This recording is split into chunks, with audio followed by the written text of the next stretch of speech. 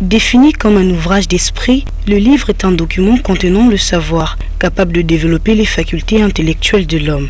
Dans le but de promouvoir la lecture chez les enfants, l'humanité a choisi de lui consacrer une journée internationale en mémoire du grand écrivain danois Hans Christian Andersen, né le 2 avril 1805 au Danemark écrivain qui a consacré sa carrière aux enfants avec des œuvres comme Le vilain petit canard, La petite sirène, pour ne citer que cela.